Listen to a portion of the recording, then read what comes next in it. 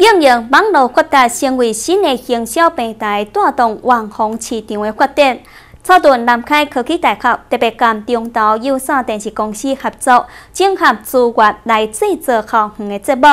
今仔日也进行揭牌、甲开播的典礼，并且也进一步打造新媒体网红培训交流基地，希望随着未来发展的趋势，会当提高学生的竞争力。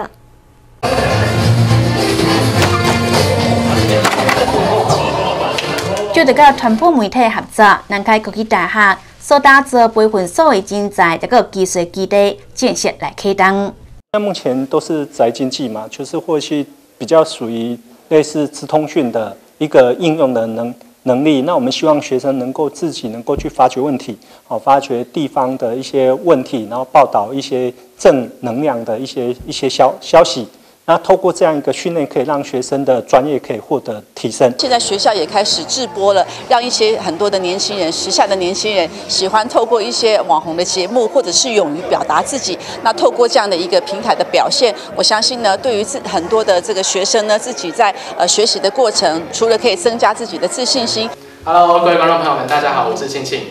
呃，报复的报，报道的报。因为学生甲公司实习表现着正好，做节目，结果摄影能力来受到肯定，所以中大有线电视公司进一步甲学校合作，提供着平台协助学生来制作校园节目，欢迎来使更加展现家己。提供我们的技术呢的光纤呢，只专线到我们的南开摄影棚。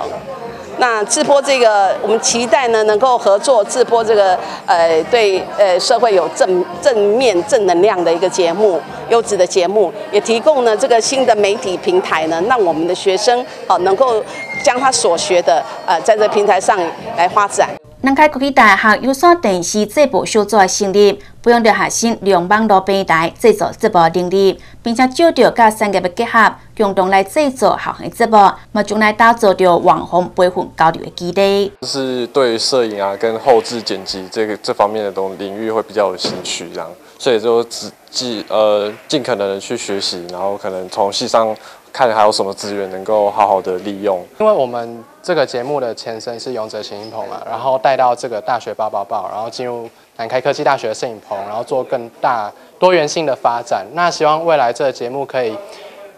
有更多的那个素材来置入。对着网络发展来成为着新的营销管道，发展出正济商机。因此，南开科技大学嘛不断为学生来找找资源，希望分对文化创业未来发展会使更加有自信。记者刘云新差不多。